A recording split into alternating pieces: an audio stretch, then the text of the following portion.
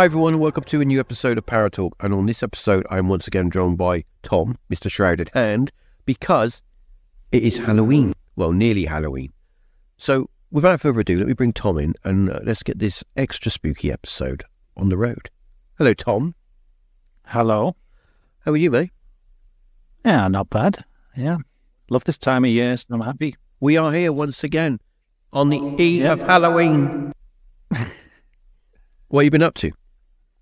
Uh, well, I've been uh, working hard, making some videos, been streaming some Silent Hill 2 remake.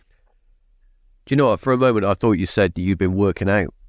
And I thought, No, I was no, no, imagining you on this big, like, bench press, getting, like, No, massive Hulk man. no, God, no. So you've been I wouldn't, playing. know, I wouldn't know how to. If I went to a gym, I, I don't think I'd know how to use the equipment. I'd be one of them people you see on the videos, you know, when they film people in doing Insta, using the equipment. doing the Insta. You'll be doing Yeah, like they like Insta. make fun of them. I'd be that person, I think. got your uh, got your um, got your like your your yoga pants on, and your little bum bag, and you're doing your Yeah. Insta to your like Yeah. to your shrouded hand channel, like. uh, anyway, so what I was going to say was, um, it's because it's Halloween, and we we have returned once again to um another episode of just mindless really waffle. I thought it would be interesting to firstly find out: Do you have any plans for Halloween? Um, no, you know what? I'm doing a I'm doing a live stream on uh, Proper Horror Shows channel. There so, uh, yeah, that's that's my plans. He's got some. Do, do you know? The, do you know the quiz show uh, Only Connect?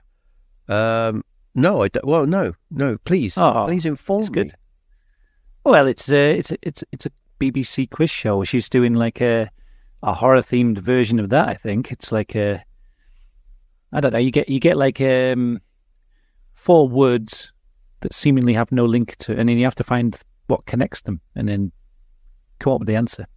It's seen. It's it's one of those quizzes which is like super brainy people go on it. So I'm hoping her version is for like thick people like me. So we'll see.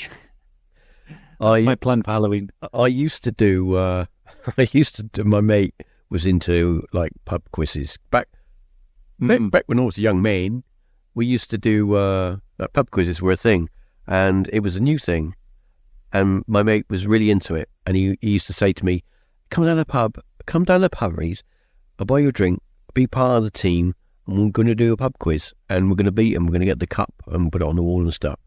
And I went one time, and all of the questions, the guy that was doing the questioning, he picked such random questions uh, that I how are you meant to know that? It's like what was the famous goat of um so and so in Albania in 1982? And I'm like, how do you, how am I meant to know that? You know, just ask me a question like, you know, what was the singer in Blondie called or something? You know, ask me something basic but it was like really intellectual stuff. It was really kind of like out there questions, and I did, I did feel rather, um, uh, rather sort of a little bit stupid in a way.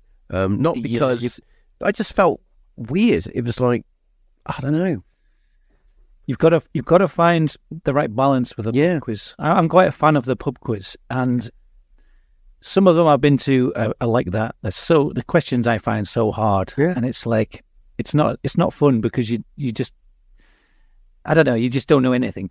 And then there's like the other side of it. I've been to quizzes that are so easy. It's like everyone just gets hundred percent, and they get they come to the end and they read out like what teams have got what, and like everyone's got either like 100 out of 100 or like 98 there'll be like one random question that you don't know and it's just like that's no fun either because it's just like there's no challenge to it You- you've got to find one that's right in the middle i think i found one there's one there's one by me that's that's kind of like that and I, I'm, i've started to enjoy going to that one but yeah i've been i've been to quite a few different pub quizzes and there's there's a balance to be struck there I've got a um, brilliant idea for a paranormal pub quiz. And what you Yeah. do is you get two teams of people um, in the pub, and it's all all the questions are paranormal. So they've all got to be ghostified or whatever, unexplained or Mm. supernatural. But you can't not you can't answer as a team. nobody gets asked the question directly. The way it works is Yeah. each team member, like group, has got a table, and on that table is a Ouija board. Oh, I thought you were going to say that. yes. They get asked the question, and then the Ouija board has got to spell it out. The answer. yeah, that's good. How long would that take? How many questions would you? How would you enforce it though? That's the thing. You'd have to have someone standing over every table making sure they went Yeah, getting the answers from the You'd- from you'd the need a- you need a special planchette with a with a um with some sort of anti cheat device built into it, Yeah. and then you'd know that they're not they're not just randomly going, yeah, I know how to spell that. You could have like you could have different rounds. You could have like the Ouija board round and Yeah. then the automatic writing round, and then like the the uh, ghost box round, or a round where you've got to record EVPs and got your get your answers from there. Yeah, that could be good. That I um talking about ghost boxes, as you do. Uh, I um I I was watching somebody the other day with a, a, a guy. He said, "I'm going to get the ghost box out now," and he got this radio, like his little radio out. It's basically a um, with his the broken scanner, and it was just going ip up up ip, up up. mm. And um, I I just don't I can't get my head around those. I just like w- you hear you hear words like uh, sausage, uh, uh, chicken. Uh, uh, there you go. It's Yeah. ch- chicken that it died of eating a sausage. Uh, you know you. I I'm just very I'm very skeptical when it comes to those devices. I don't know why. I'm I'm kind of I'm kind of the same. Pretty much of any of those like ghost hunting gimmicky devices. I just find like every time I'm watching a ghost hunting show, they've got so many things going off. I always think surely you'd see you'd catch more, or you'd have a better experience if you just sat there quietly, just absorbing the atmosphere, seeing what you can hear and see with your eyes and ears. But it, they've just got like a million gadgets. They've got the ghost box things scanning through the through the radio. They've got these like motion sensor things that seem to just go off randomly. You know, a gust of wind hits it and it'll go off, and they'll think that's a ghost. And um, these like laser things that shine on the walls. I'm, I'm sure some of them are good, but I always just think, what happened to just the art of just sitting and doing like a vigil with your own body? No, no, no, uh, no gadgets or anything. I mean, I do like watching go- these ghost hunting shows with Yeah. things like that, but I just think sometimes, and I'm talking more about the ones that are. So there's quite a few on Amazon Prime that seem to be shoved on there, and they they kind of, I don't know, they they seem a bit like. They seem a bit thrown together, and they just seem to every every show just seems to have like a million gadgets all going off, and it's just like, I saw one where they had these like motion detecting robots that ran along the ground, and they were like little kids' toys, and they just have like a, a room they'd have all these like toys running around, like these little robots roaming around all over the floor, and it just Mm. seemed a bit daft to me. Yeah, I, I do think the more the more technical stuff, the more gadgetry you introduce, the more chance there is for false positives, and you can Yeah, you can have um, very simple devices like you know electronic thermometers, um, motion detectors, which are simply just a light that goes off if something breaks a beam. But I think yeah, a lot of it's getting very sort of over technical now, and you you you, you rely on it. You you don't you know uh, if you look at the the old you know the old ghost hunters, they maybe had um, a a thermometer, um, a, a cassette recorder, and a and a pot of talcum powder, and that was it. And it it, it was like they they put the talcum powder in front of all the you know the doorways or whatever. They put their cassette recorder going, and then they would just smoke a pipe for half an hour and see what happened. So yeah, I think you are right. It does come down to you, you know, using your body as well and your senses. yeah. I mean, I don't know because I've never, I've never been like on a ghost investigation and used this stuff. Really, you know, I, I I'm not talking from experience. It's just the only thing that made me reconsider those devices was I was watching. There's an episode of um, Dorset Ghost Investigators. I don't Mhm. think they still do investigations, but they used to do really good videos. And they had one of those ones where it's like, you know, it kind of it's supposed to pick up something in the atmosphere, and then it like spits out a robotic word. Oh yeah, Says it. I what yeah, they're called. You know those sort of things. Yeah. I think you can get apps to do them now. And there was one where, and I, I was watching their videos, and they were using these things, and I thought they're, they're just spitting out random words. What you know, But they did a they did a thing. They pointed the camera at it, and they said, "Can you can you complete this? One, two, three, four, and the thing spat out five. And they showed the screen as it did it, and it was like this thing just spits out random words all over the place. Yeah. How could it like complete? And it did it right in time for the, with them saying it. They counted to four, and then the next word it spat out was five. So that is interesting. yeah, that, that yeah, things like that are interesting when you use a device in a in a in a kind of way like that, and you get a response. So you you do.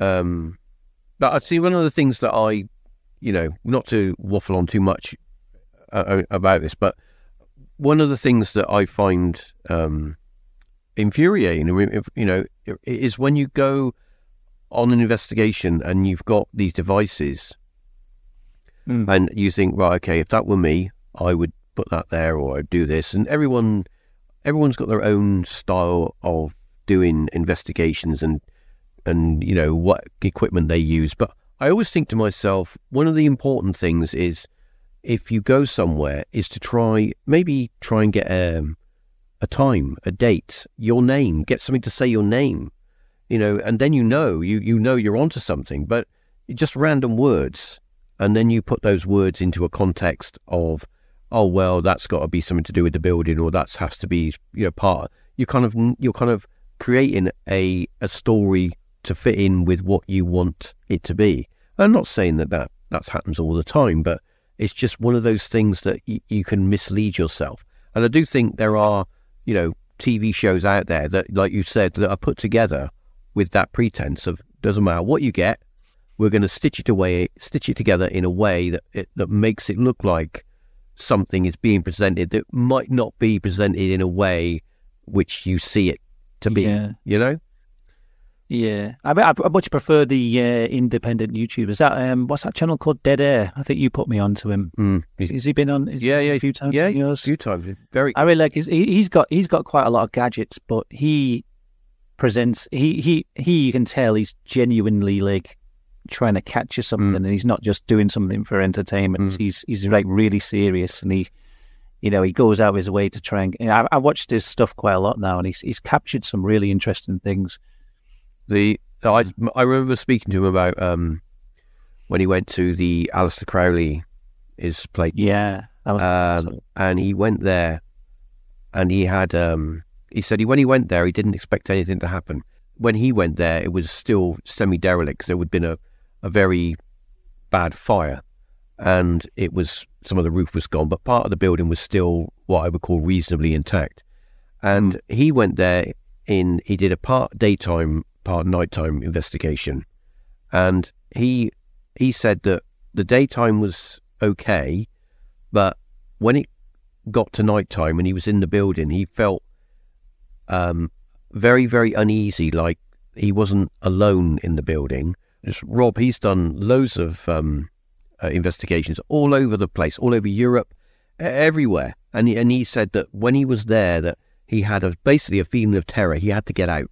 He felt unwell. He felt dizzy, Mm. and and he had also had a problem with his um, he carries a drone with him for doing like reconnaissance and filming, and nothing worked properly in that area. Nothing worked properly. So yeah. put that down to coincidence or or whatever. But he very rarely, um, how can I put it? He very rarely sort of, he, you know, he he won't say something happened if it didn't happen. Put it that way. And Yeah, he's yeah. he's more likely to say, oh, it's likely to be, you know, weather or a, an angry cat that made a meow or whatever, you know, that sort of thing. It's more, he's more logical when he comes to ghost hunting and investigations and stuff. So mm-hmm. he's yeah, he's gone to some very interesting places, and he's a very he's a very logical investigator, and he does look at things from a very sort of logical mindset. He doesn't just go just trying to go, oh, I heard this, so it must be the soldier that came back and told me to get Yeah. So he's he's very he is very good, and his his stuff is very well made as well. Um, but Yeah, he has been on. He, he's been on. Um, he's been on the podcast a couple of times. I think he's he's due to come back on before Christmas as a, for a catch up because he has gone to a couple of places um, over the last few months, and I expect those episodes will be popping up at some point.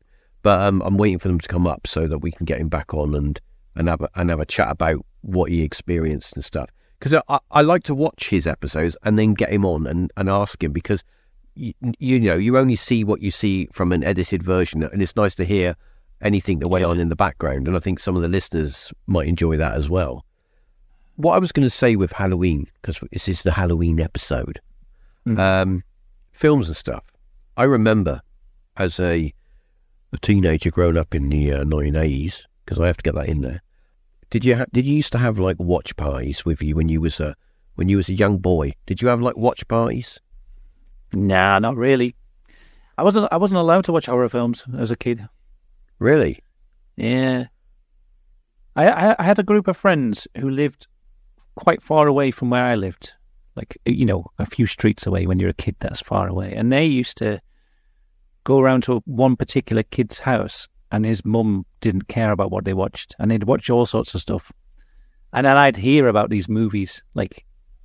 My friend would like describe in detail everything. I remember him describing like uh, Child's Play and stuff like that in, in great detail. So I had all these images in my head of these horror films, but Yeah. I was like never allowed to watch them, and I didn't live close enough to be able to like sneak around to this kid's house and watch horror films at his place. So yeah, I didn't really have that experience, sadly. Back then, the video store was king. Uh, every Friday and Saturday night, the video shops, when there was loads of independent ones as well, uh, would be basically full of teenagers, uh, you know, wanting their to get their latest film or, or whatever.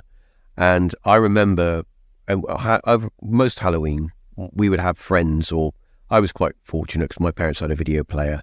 Um, they would either come around my house or we'd go around their house, and there'd be a large group of us, and we would go to the local um, video store, and we'd get a film, and we we obviously come back and watch it, you know, as a group, and we'd have our like, you know, we'd have our Pepsi and our, you know, or our or our sort of Tango or our, you know, Quatro or or our Lilt or whatever it might have been, and um, we'd be all like, you know, watching the film and stuff. But the thing was, you don't really think about it. Like you don't really pay any attention to it now. But back then, watching a what you call a um, a, a slasher film like Halloween or the film Halloween or Friday the Thirteenth or I Spit on Your Grave or any of those or zombie films or whatever, um, all classics now. Of course, they're all classics, um, and a lot of them were banned, and, they were you know some of them got banned and it took years for them to be you know unbanned.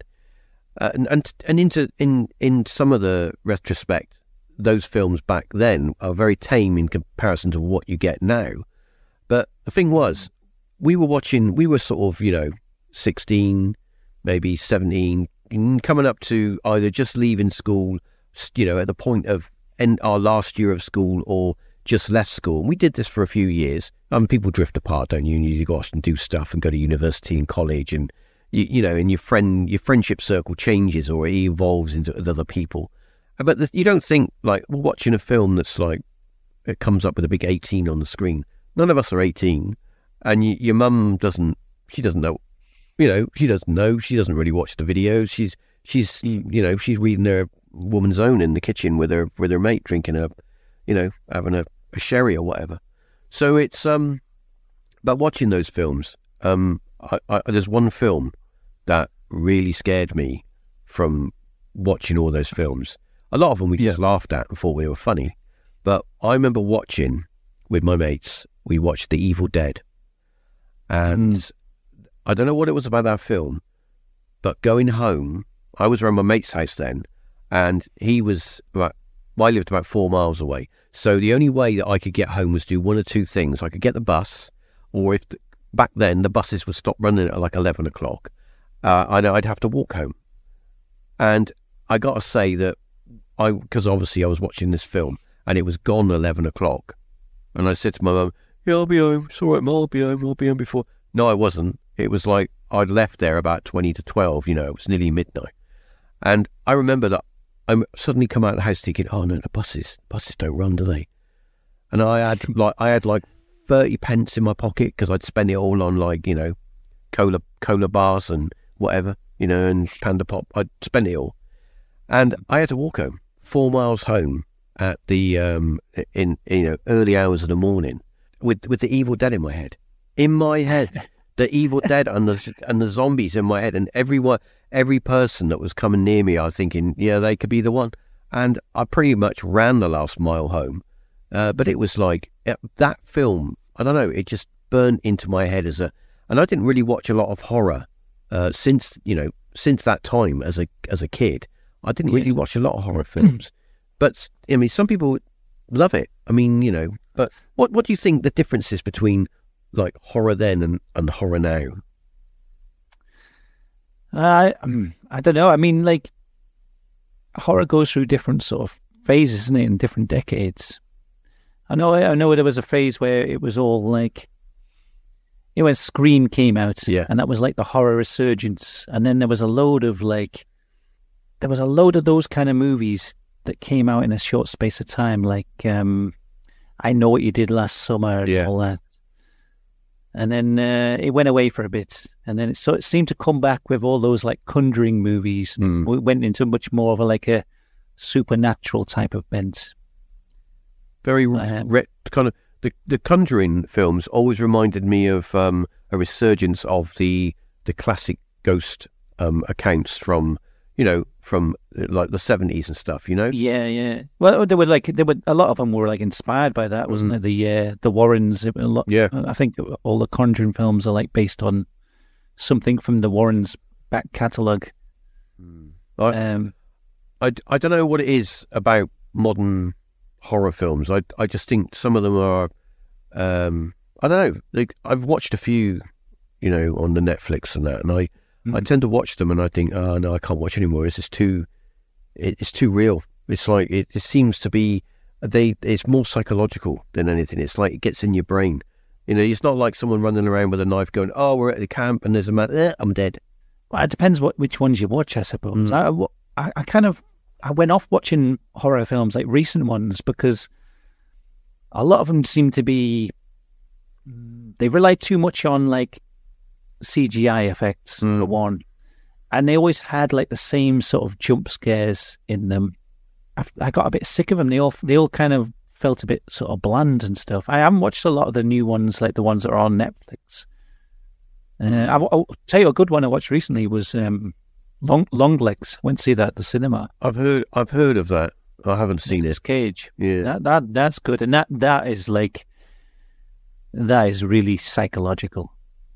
That Yeah. that is one that I thought was genuinely quite creepy. Well, uh, moving on just a little bit, just a tiny little bit from from horror and uh, slasher films. Did you know that Halloween is a time to dress your pet up as a, you know, as like Dracula or Frankenstein, or if you've got like a little, got like a little dog, and you can make him a costume, or if Yeah. you've got a cat, you can put him in like a costume and make him into like the Wolfman or something, or you've got a little hamster, something like that. Any pet really, you can put a costume on them. That's a thing. Did you know that? Yeah, um, I, I've seen I've seen those things. Yeah, dog costumes. Yeah, So- I've, I've never done it. Uh, you've got a dog. Yeah, What costume would you put your dog in? she would not. She would not wear a costume. I guarantee it. All right, But, but it, like what? Like a uh, it's not negotiable. You you got to put okay, your dog in a costume. Well, she's can't she's negotiate. um she's Romanian, so I guess it would have to be some kind of Dracula outfit, wouldn't it? so your dog would be a Dracula. Yeah, I think so. She's got these weird like she looks a bit like a sheepdog, but she's got these weird like um hairs, like two hairs on either side of a muzzle that sort of hang down longer, so they kind of look like fangs. I imagine if I sort of stained them white somehow, and then put like a, a cloak on her or something, some bat wings maybe. Yeah, that would be quite quite cool. And then you could go. Uh, did you ever used to go like trick or treating? Did you ever do any of that? I, I wasn't allowed.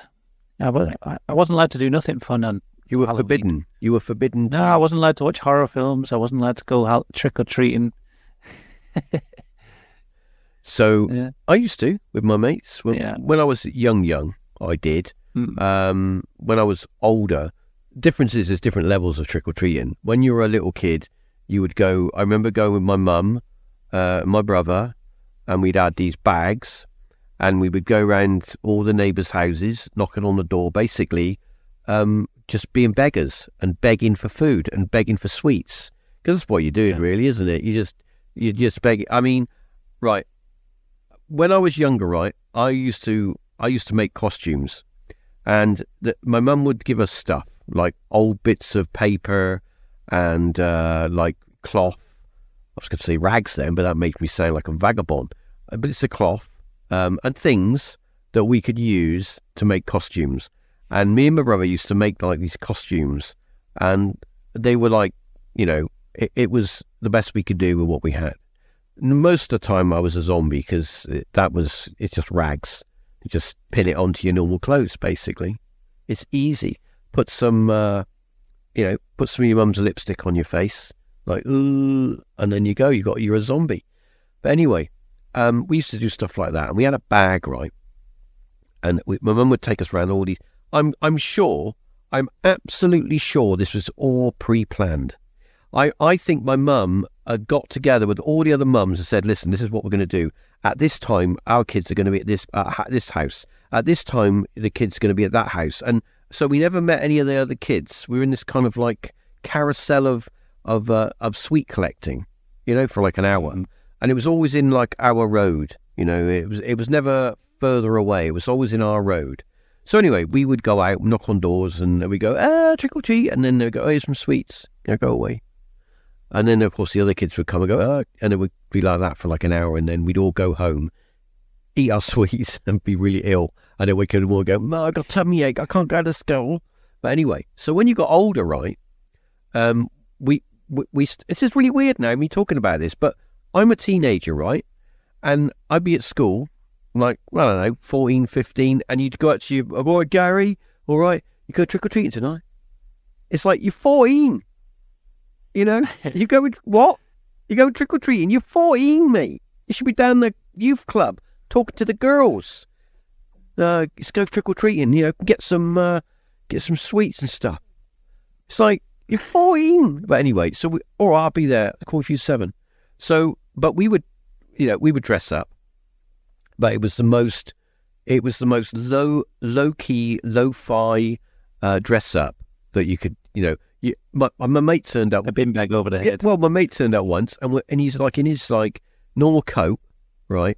he's like in his normal coat, and he's got his jeans on, and he's and he's and he's like Nike trainers, and uh, we're going. "Wh- Why haven't you dressed up? Well, I have. Well, why haven't you? What, what you wear? Well, look, and he just had like black rings around his eyes, and he's like, "I'm a zombie," and I'm like, "You you just put makeup on your eyes, like you got two black eyes." But that was his makeup. We had, we were a little bit more. I put some gel in my hair. You could get this gel back in the day. It was like it was like twenty five pence, right? And anybody in in uh, that grew up in the eighties will know the gel I'm on about. And I bet they're laughing their asses off right now because you could get it in like yellow, green, blue, and you had like um uh it was basically all of it was like cement. It was just like putting you might as well just put cement in your hair because it was like yeah, I remember. yeah, stuff. you just you And it was like wet. You could get like That's wet looking gel and exactly. make your hair look like it was just slick with sweat all the time. And that's right.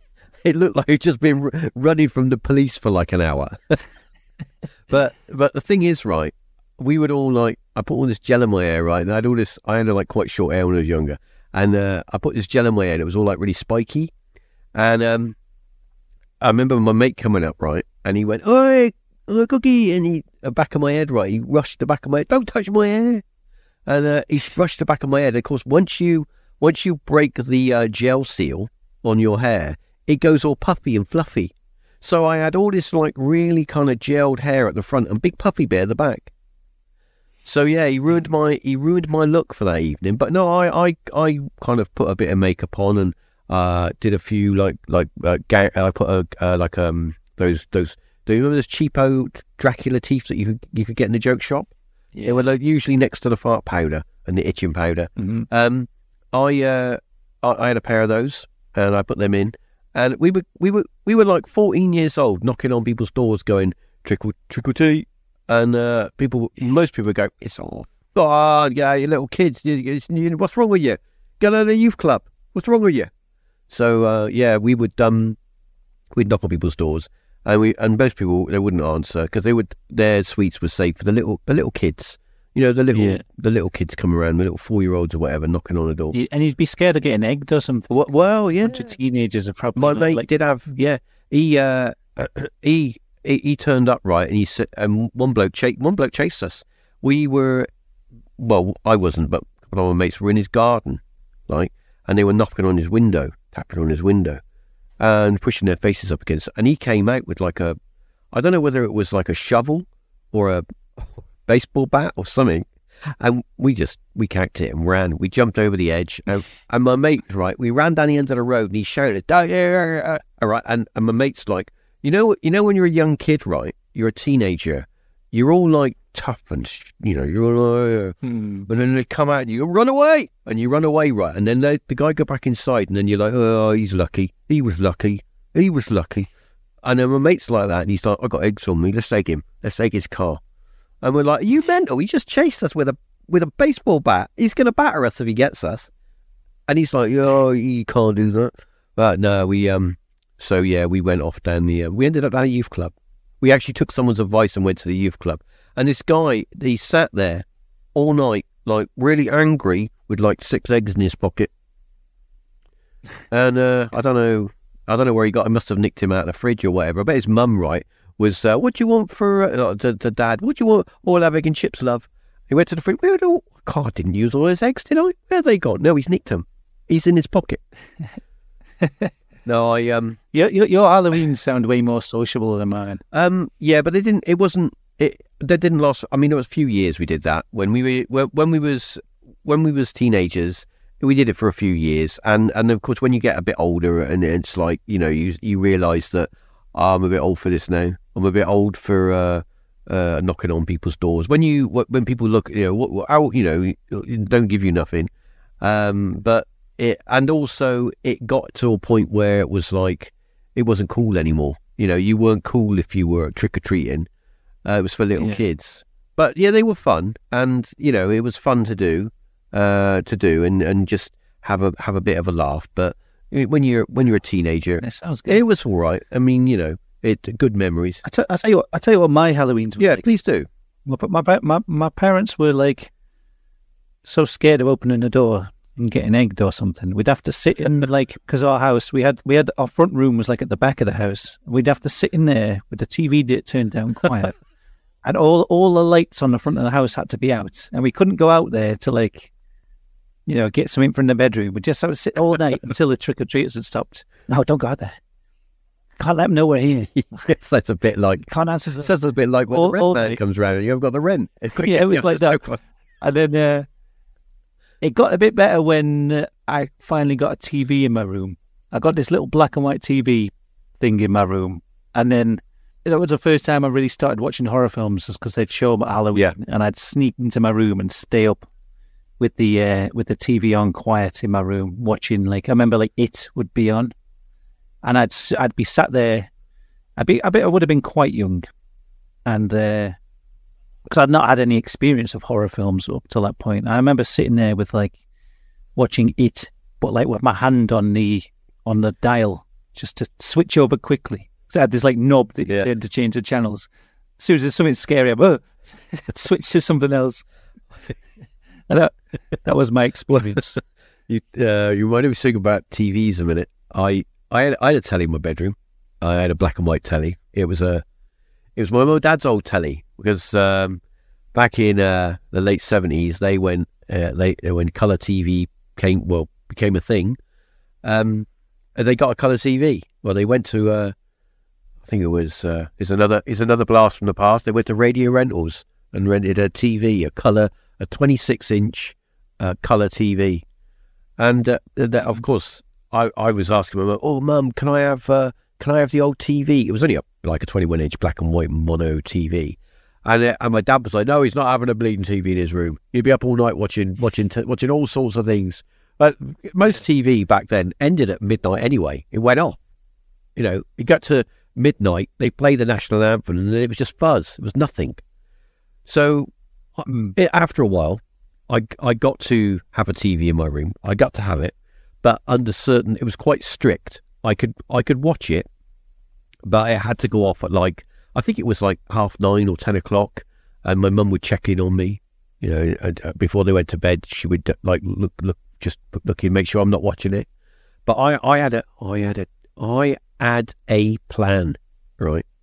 So what I did was, right, I had this radio, and um, the radio had two small speakers in it, right? This is going to sound something like MacGyver, right? But this is why this is this is eight this is late seventies like kid thinking. I had these two little speakers, right? So what I did is I got a long speaker wire. Now it's obviously it's a mono telly, so I I basically took the back off the telly, found the speaker, connected with some sellotape the wire to the speaker, right? Right. Put the back back on.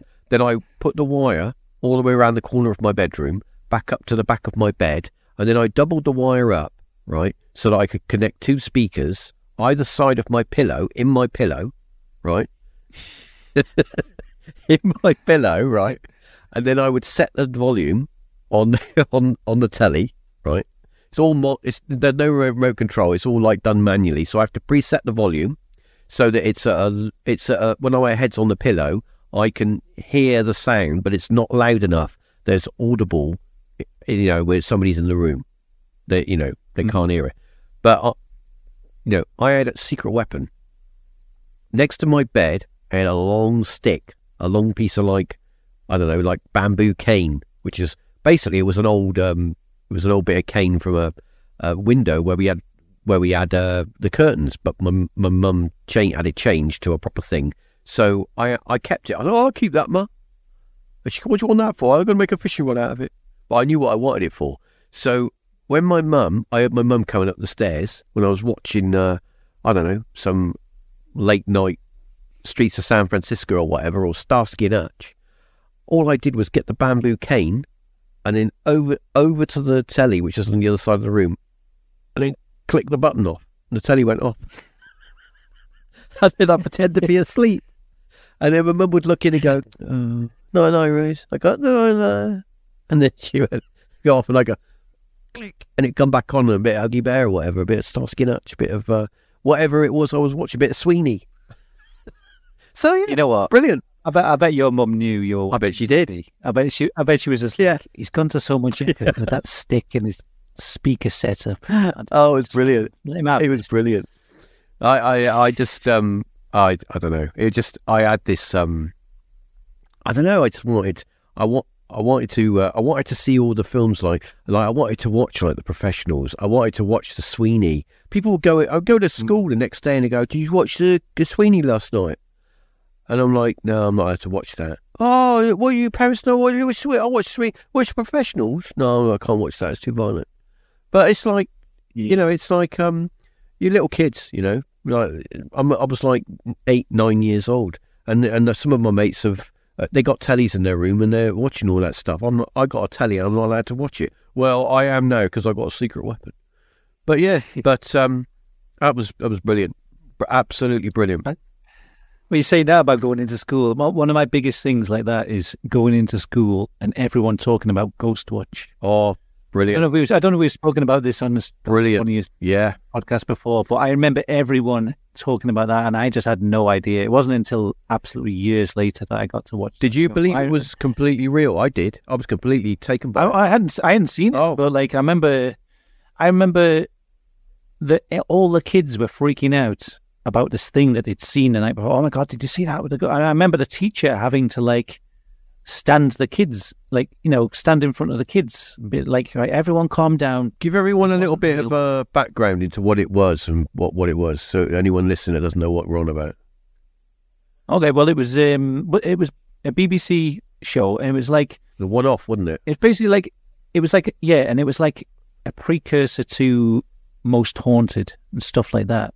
If you just a classic like ghost hunting show like Most Haunted, I think probably took inspiration from this. It was set up like like it was real. Like they'd put these hidden they put these cameras around a, a, a suburban house that was supposedly haunted, and they had um, Craig Charles and uh, I can't remember the Uh, Sarah Greene.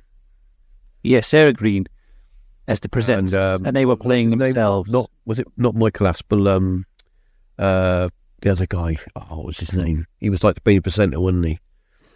Um, trying to think of his name.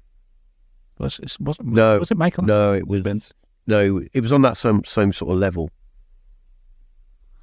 Oh, I don't know. I don't know. I'm really bad with uh, presenters' names. Anyway, yeah, he he was back at the studio, like getting the experts in to talk about ghosts. But it was it- Craig Charles and Sarah Greene were like on the ground, and they were.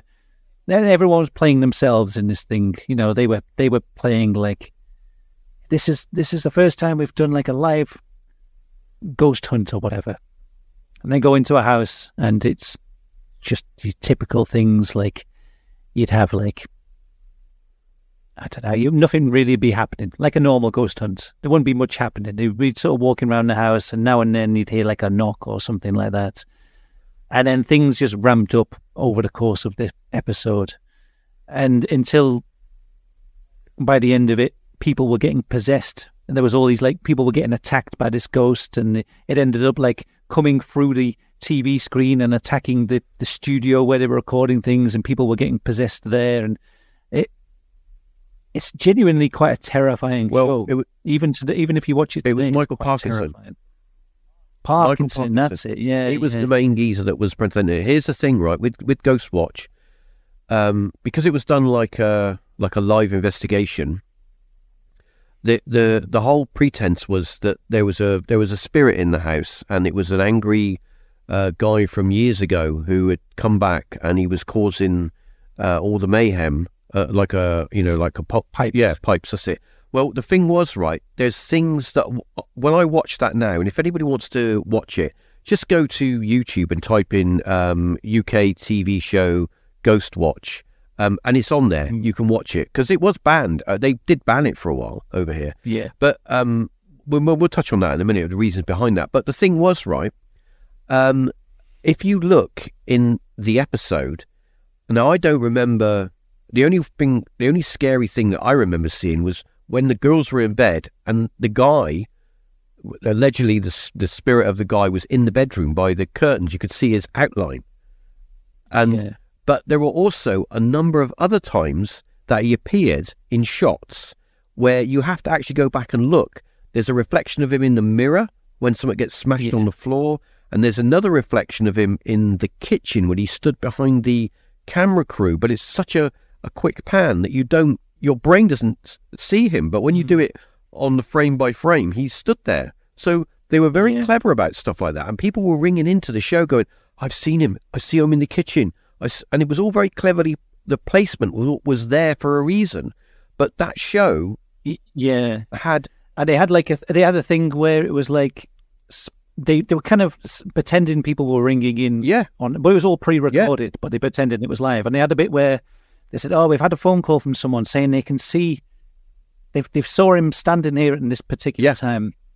And they played the footage forward, and he stood there. You can see like a big outline. right. And they were like, "Right, let's rewind it." that's right. And they play it back, and he's he's not there. So it makes you think you're like imagining right. it. Yeah, It's really really clever. but it did generate a lot of um, uh, a lot of uh, um, letters to the BBC about after it had gone in. People were actually saying that when they were watching the um, watching the show, that they were having things happening in their home. Somebody said Yeah. that their their, their watch had stopped and it would wouldn't work anymore.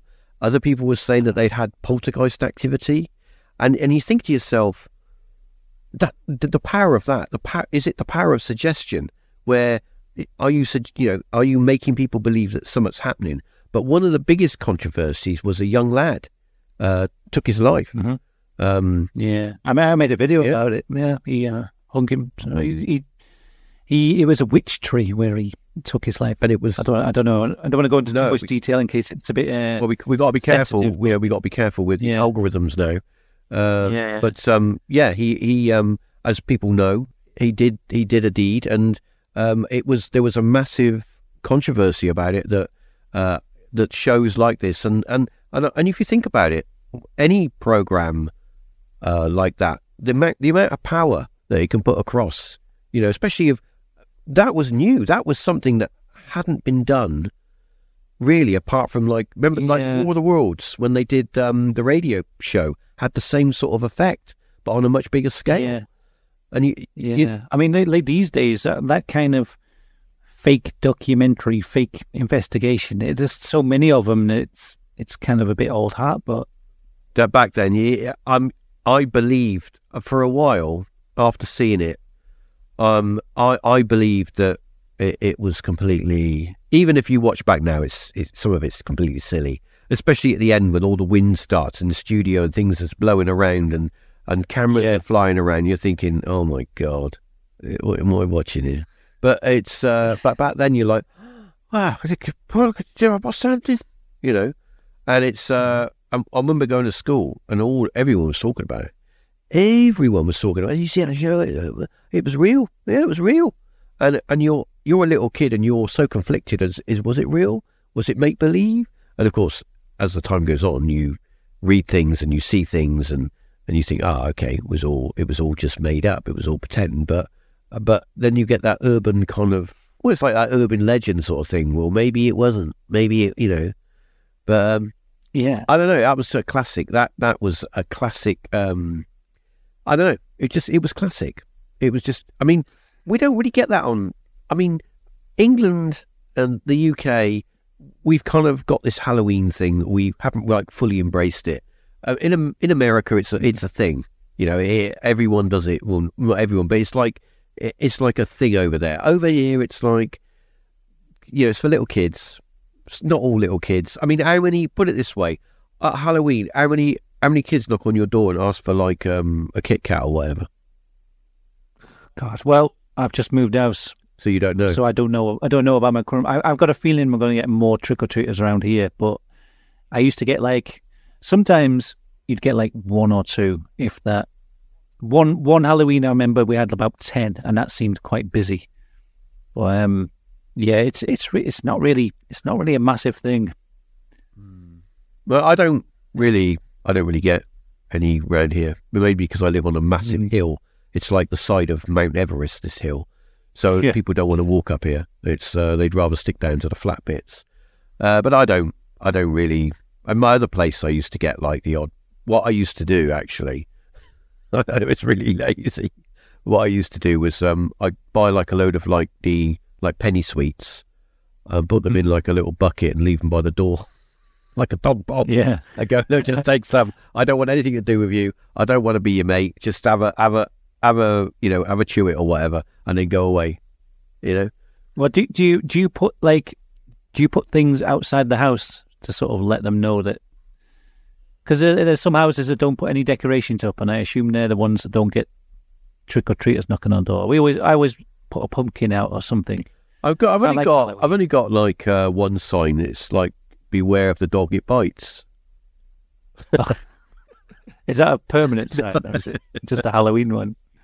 I uh, no, I usually uh, answer the door wearing like a, a um, an apron covered in blood, uh, holding a carving knife, going, "Come on in, come on in." Yeah, but what about Halloween? Uh, yeah, that's uh, no, that, I don't do it for Halloween. Only in normal, normal. no, I um, Yeah, but go on. if you if you don't have anything outside your house, then you know it's, you won't get many. No, I don't have anything because they'll Yeah. just get I mean, I was, I was, I was going to Halloween hopeful. Like, I buy a big bucket of sweets, and I put the, pump, I carve a pumpkin, I put it out, I put some decorations up, because I just really like Halloween. It's probably like my favorite holiday. But have you decorated? I was, house I was hoping. As a decorate. uh, no, not Oh. yet. No, I, I, I usually just do it on Halloween. I don't like having of things outside the house before that, but um, yeah, I think I'll Well, I have noticed. might do something. um, I mean, I have noticed more people buying um buying pumpkins and stuff, but I think that's making Yeah. kids to sort of chop up um yeah, Halloween to make you know put candles in and stuff like that, and uh, put them, but like you say, put them outside the front door or whatever. I think that, that yeah, I've noticed more. Yeah, I think I noticed that a lot of uh, like supermarkets are selling more sort of what I call Halloween tat, where it was like red Yeah. dress up stuff and that. I mean, gone are the days where you would mum would give you rags and say, "Look, there's a pile of rags there. Make something from that. Use your brain." Yeah. Now you just go into a supermarket and buy something that was made in, I don't know, China for like two pence, and you wear it. Yeah, and and and they and they have the uh, they have the pumpkin farms now. That seems to be quite a new phenomenon. Do you know about that? no, what? What's that? Basically, a farmer will get a bit of empty field, Okay. You'll go down to Tesco and he'll buy a ton of pumpkins.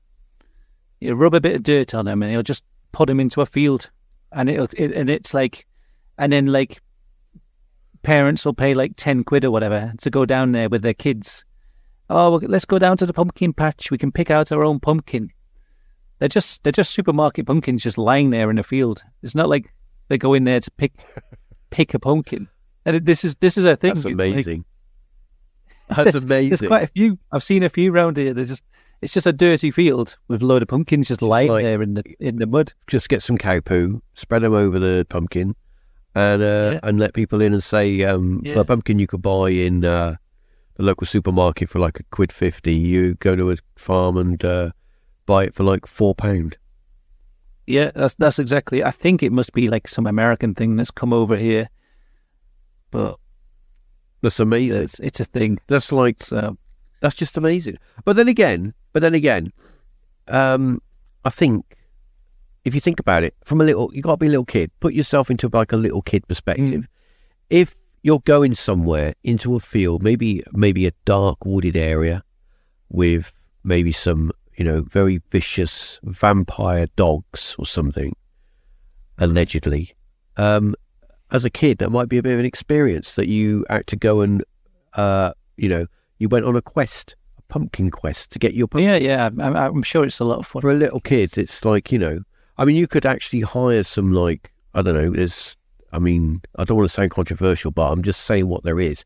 There are, like, uh, like, uh, agencies out there that are, like, like specialized in, like, dwarf agencies. And you could dress them up like goblins, have them in the field or in the woods, little kid. I mean, it just adds Yeah, well, you could do. I don't. I don't think they do though. I, I think it's just a field. I don't. I don't think they like go all out and make it all spooky. I would. I could be wrong. I've never been to Tom, one. but- let's let's do it, mate. Next year, this, we're gonna get, we're gonna put some money in a pot and we're gonna do it. Go to the agency, hire some high quality, you know, theatrical actors who can who can act. Of restricted growth. Go down the uh, supermarket, buy all of the pumpkins, put them in a field, Mm. and there you go. Rub some rub some dirt on them, and uh, and there you go. We're, we're gonna be sitting free. Yeah, you, could do something like um, you know, like a corn maze or something scary, and then you have to try and get your pumpkin out of the maze. That's the way. Make it into a bit more of a experience. There you go. You you've just you just you've just come up with the idea. You have the you have the pumpkin. You you, you can have the pumpkin for free. Uh, you, Mm. you you pay an entrance fee, which really covers the cost of the pumpkin as well. So you don't. It's not free really. Uh, then you get the pumpkin. The little kid goes, "Mummy, I want that one." So it he gets that pumpkin, uh, and then the mum's got to carry it because you know the kid can't handle the pumpkin size. Uh, but you have to go through the maze to get out. And in in the main, It's like scarecrows. exactly, there are things in there. around. Exactly. Uh, there you go. And and and that is uh, the horror aspect of it. So the, that way, the little kid will always remember that time that he went and picked his first pumpkin. It would be literally Oh, yeah, that'd be that'd be a bit better. embedded, burnt into his uh, into his brain. And there you go. It's we've solved Wow. the problem, and we've made we've made a way to make some easy coin. There you go. Brilliant. Yeah, that sounds good. I mean, it's nearly as good as that uh, uh, the, the Charlie and is it Charlie and the Chocolate Factory experience? That Oh, the Wonka experience in Glasgow. Yeah, oh, Yeah. awful, absolutely awful. I, I, I recently went to a like a horror maze thing. Yeah. and I was expecting it to be a bit like something you know, like bit cheap and stuff, but it was actually amazing. It was like properly set up. It's called the Psycho Psychopath. It's like it's one of the country's best horror maze. They got all these different things in, and there was like Did anyone jump out at you? it was it was just constantly people Oh, jumping out. no, Even when you no. weren't in one of the mazes, there were just people walking around like dressed up as different, like a nun, a creepy nun. But then there was there was like you go into one, it's like a fun house, and it's like you're going around and there's all these clowns jumping out, and then you you're in like a you're in a room that's just so full of um what's it called that um dry what's it called dry ice Yeah, yeah, yeah, yeah. Dry, it's so full of that you can't Oh, it's horrible stuff, face yeah. and you just you're just trying to get through it, and it's like there's all these clowns in there. It, it was a, it was really good. My mate got my mate got dragged into a room on his own, and they just like covered him with like some stinking. I don't know what it was. Just covered his coat and everything in stinking like slime. Put a bucket over his head and started hitting it. I think that's called assault, isn't it? yeah, what you pay. That's what you pay to. You, you like. I think you like. You sign a disclaimer when you when you pay for your ticket. Really? They can do anything. Yeah. I, good. It was good. Good experience. That dry ice. I remember one of our. Uh, we did a gig years ago, long time ago.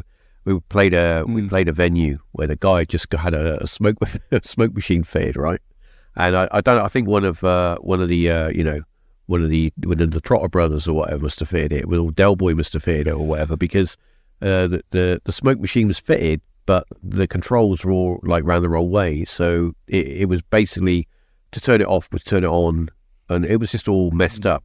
And we were we and it was all it it wasn't it, it was me, it was like you could remote control it, you know, but because it was all messed up, it was on like full blast, and we were playing and this guy, he was like really into his smoke machine. He had a lighting rig and everything. It was really good.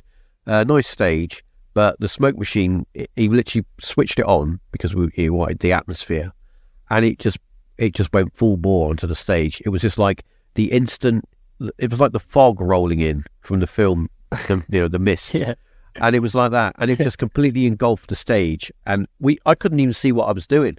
And that stuff gets right into your throat, man it gets right down the back of your throat. And we all started coughing because it was like, it's just a full blown uh, waft of this stuff, this dry ice. And he couldn't, he was trying to switch it off and he couldn't switch it off and he was panicking. And he ended up like ripping the uh, the socket out the back to, to stop, you know, to stop it from working. He was panicking because it was filling his, um, the venue was a massive and all the people were like coughing and complaining because it was just filling the whole place up with this mist. But no, that was uh, yeah. I don't like. Um, I'm not really fond of those things because it just makes you cough. Uh, but it might it might not have been dry ice, and it might have been something else. But it was like because it was a room full. It was so thick you couldn't see like an inch in front of you. Yeah, it was really claustrophobic actually. But anyway, Tom, I think we've come to the end of this episode because we could be talking for uh, you know ages. I want to thank everybody for sticking with us. If you have, if you haven't got like, oh God, shut up and turned off and we also, um, both of us, hope you have a nice Halloween and uh, go and do your trick or treating or whatever you're going to do. Um, but uh, do it safely and uh, be respectful, and uh, you know, only take your, uh, you know, your uh, equal share of the sweeties. and yeah, and from me and from Tom, thanks for listening. And until next time, talk to you soon. Bye.